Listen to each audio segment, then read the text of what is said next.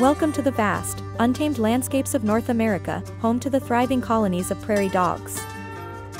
These creatures are not your typical backyard rodents. Instead, they are builders of intricate underground towns, fit for a bustling population.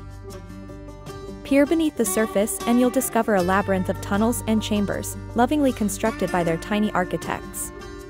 Each burrow is a testament to their extraordinary teamwork. They also form complex social structures, with defined roles and responsibilities for every member of the colony.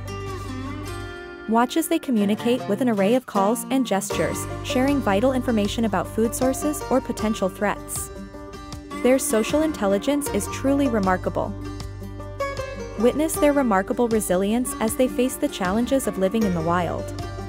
Whether they're foraging for food or fending off predators, these small creatures are full of surprises.